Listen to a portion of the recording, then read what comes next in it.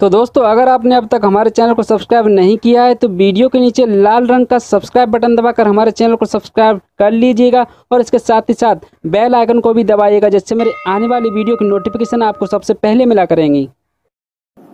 दोस्तों, आप पेनड्राइव या हार्ड डिस्क का तो यूज़ करते ही होंगे, लेकिन जब भी आप पेनड्राइव या हार्ड डिस्क को किसी पीसी से लगाते हैं तो वहाँ आपको एक आइकन नज़र आता है, जो कि हार्ड डिस्क का आइकन होता है। दोस्तों, उस आइकन की जगह आप अपना फ़ोटो या लोगो भी लगा सकते हैं।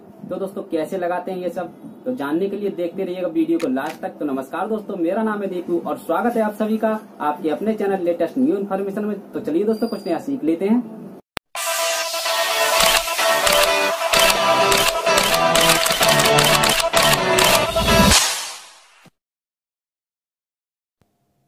तो दोस्तों, इसके लिए हमें सबसे पहले अपना पेन ड्राइव या एसडी कार्ड को अपने पीसी या लैपटॉप में लगा लेना है। अब देखिए दोस्तों, यहाँ पर आपको हार्ड डिस्क का आइकन दिखाई दे रहा है। अब हम यहाँ पर अपना फ़ोटो का आइकन कैसे लगाएँ? तो चलिए दोस्तों, आगे चलते हैं। चलिए दोस्तों, मैं अपना एक फ़ोटो ले लेता हूँ। चलिए, मैंने ये वाला फ़ोटो ले लिया। अब दोस्तों, हमें एडिट पर जाना है। अब दोस्तों, इसमें हमें एडिट कुछ नहीं करना है। हमें सेव एज करना है। सेव एज बीएमपी पिक्चर दोस्तों, ध्यान रखिएगा, हमें सेव एज बीएमपी पिक्चर करना है और यहाँ पर अपना एक यूनिक नाम नाम, कोई भी नाम आप डाल दीजिए। ज़्यादातर शॉर्ट नाम डालें, वही अच्छा है और आप यहाँ से सेव कर दीजिए। दोस्तों, पहला स्टेप हमारा पूरा हो चुका है। अब इसको कट कर देते हैं। अब हमें डेस्कटॉप पर राइट क्लिक करना है और न्यू में जाके टेक्स्ट डॉक्यूमेंट पर क्लिक करना है। अब देखिए दोस्तों, इसको ओपन करना है। ओपन करने के बाद दोस्तों, हमें यहीं पर लिखना है, ब्रैकेट ऑटो रन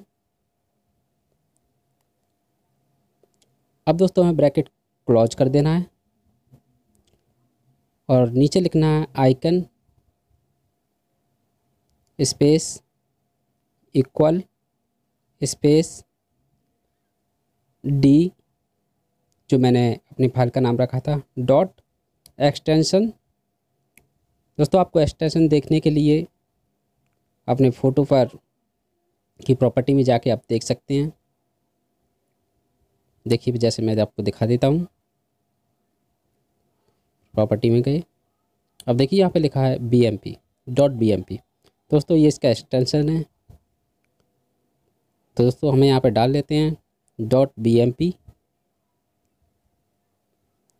अब दोस्तों, इसको भी हमें सेव एज कर देना है। देखिए दोस्तों, अब यहाँ पर फ़ाइल का नाम दे देना है। चलिए हम दे देते हैं auto run dot I N F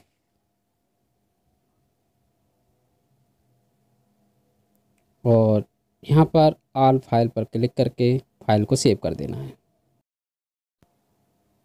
अब देखिए दोस्तों, हमारा दूसरा स्टेप भी पूरा हो चुका है।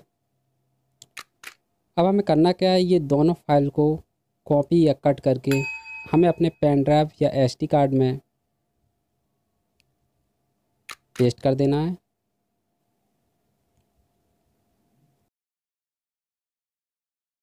अब देखिए दोस्तों, ये कॉपी हो रही है।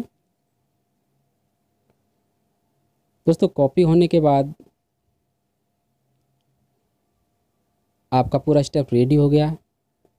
अब देखिए दोस्तों, मैं अपना पेन ड्राइव निकालूँगा। पेन ड्राइव निकालने के बाद दोस्तों, मैं अपना पेन ड्राइव लगाऊँगा। अब देखिए, मैं आपको यहाँ पर दिखाता हूँ। देखिए दोस्तों, यहाँ पर वो हार्ड डिस्क का आइकन चला गया है और यहाँ आपका फ़ोटो आ गया है। आप इस फ़ोटो की जगह आप अपना लोगो भी लगा सकते हैं। आप यहाँ पर कुछ भी लगा सकते हैं, जैसा आप समझो वैसा लगा सकते हैं। और जब आप इसे किसी और पीसी या लैपटॉप में जोड़ेंगे तो वहाँ भी आपका ही फ़ोटो जाएगा। देखिए दोस्तों, मैंने दोबारा से इसको लगा के दिखा दिया। आप किसी भी पीसी में इसको लगाएँगे, आपका फ़ोटो जाएगा। तो दोस्तों, उम्मीद करता हूँ कि आज की ट्रिक आपको अच्छी लगी होगी। और अगर वीडियो अच्छी लगी हो तो वीडियो को लाइक तो करिएगा। इस साथ साथ अपने दोस्तों को भी शेयर करिएगा। और अगर आपने अब तक हमारे चैनल को सब्सक्राइब नहीं किया है तो वीडियो के नीचे लाल रंग का सब्सक्राइब बटन दबाकर हमारे चैनल को सब्सक्राइब भी कर लीजिएगा। इसके साथ साथ आप बेल आइकन को भी दबाएगा जिससे मेरी आने वाली वीडियो की नोटिफिकेशन आपको सबसे पहले मिला करेंगे। दोस्तों, ख्याल रखिए अपना और अपने चाहने वालों का टेक केयर गुड बाय नमस्कार।